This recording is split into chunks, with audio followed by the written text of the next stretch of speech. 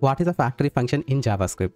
Factory function is a function which creates a object and returns a object. The usage of the factory function is it will reduce the duplication of the code while creating a objects. Let's see with the code. In JavaScript, we work with objects a lot. Here I have created a student object with these properties. If you want to create a, another student object, probably you have to duplicate the code like this. Here I have created a, another student object with the same properties but different values. Here factory function help us to create a objects without duplicating the code. Create a student function is a factory function which is creating a object and returning a object. To create a object by using the factory function, we have to invoke like this.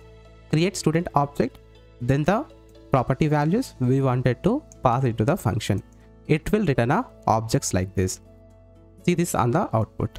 It is created a two student objects.